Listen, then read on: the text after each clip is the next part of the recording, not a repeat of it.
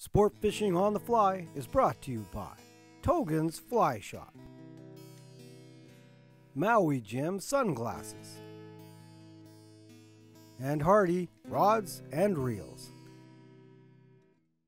Good day everyone. Today on the bench I'm going to tie you up my uh, black pheasant tail nymph. This is tied on a jig hook. It's uh, one of our favorite patterns. I, one of my favorite colors is black. Little black pheasant tail has been a very successful fly for me over the years and black is a great color. One of my favorites. Let's go over the materials we need to tie the fly. We're uh, Togens. We got some 60 degree jig hooks, size 12. On the front I put a hot pink uh, tungsten slotted bead on the front. The rib, I'm going to be using some Semperfli 0.1 millimeter hot pink wire to complement the bead. Then we'll be using some 8-aught black thread to tie with. I'll just get that round on my bobbin properly there. Then uh, the body, the tail and the body, I'm going to be using some black pheasant tail fibers. The collar, I'm using some Togen's shadow dubbing. It's in the dark shade doing this a little different than the uh, Frenchie Nymph where we have the strike trigger with a different colored thread. This is, uh, shadow dubbing is kind of a long fiber, kind of like a soft leech type material I would say and a lot of guys are just dubbing that right onto your your threads and working that way and just wrapping more of a collar. I like to use it as more of a hackle. So what I've done is I've taken my work scissors, heavier work scissors here. You did use rough work. I don't use my good tying scissors for that. And then I chop it all into about one-eighth little uh, fine dubbing. Very fine and short. So that way I can make myself a nice little uh, collar with that in the front. The way I like to do it. So let's get a hook and a vise. Tie one of these black pheasant tail nymphs. And here we go. Bobbin always does that when I bring that camera out.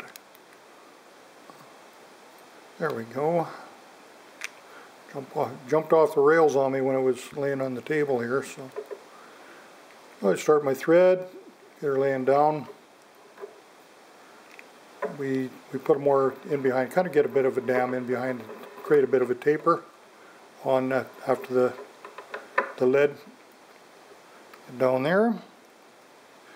Bring in some of that hot pink wire.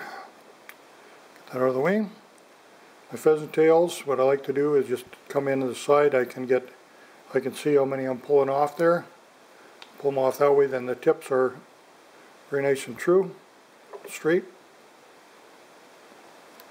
Sometimes when you cut them off, they don't get them quite straight. Do whatever works for you. That's the way I do it. Then I'm going to wrap my body up with pheasant herl.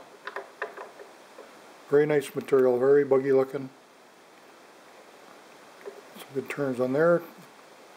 Cut the butts off, throw in a half hitch.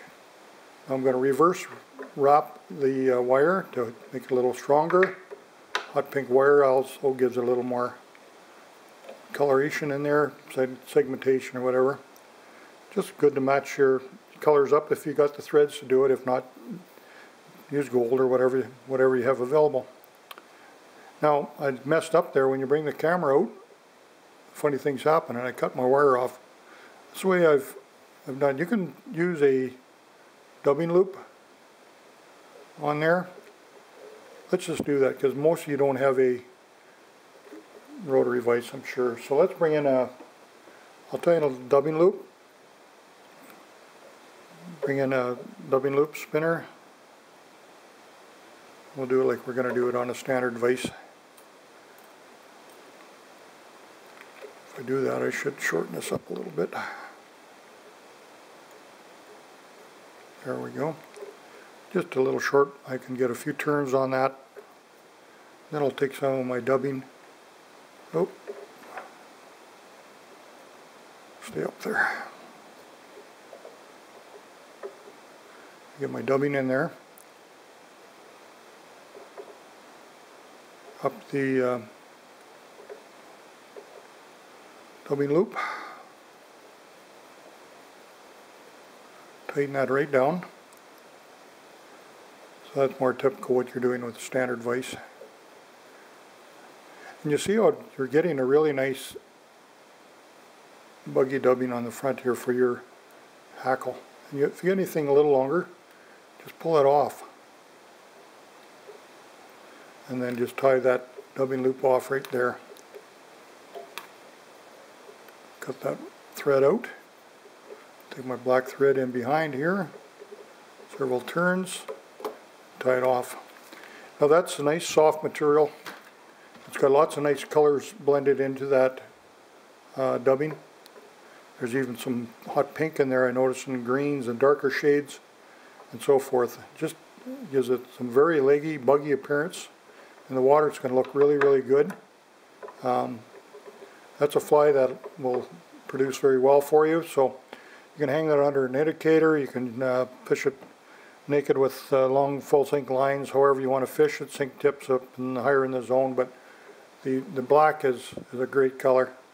And uh, when you're tying flies, I know there's lots of neat colors out there. Black's a color that kind of gets overlooked many times and it's uh, very successful. So thanks again to all our sponsors and thank you again for watching. Don't forget to become a member of Sports Fishing on the Fly. It's a great resource for tying videos and uh, TV shows. So catch you again real soon.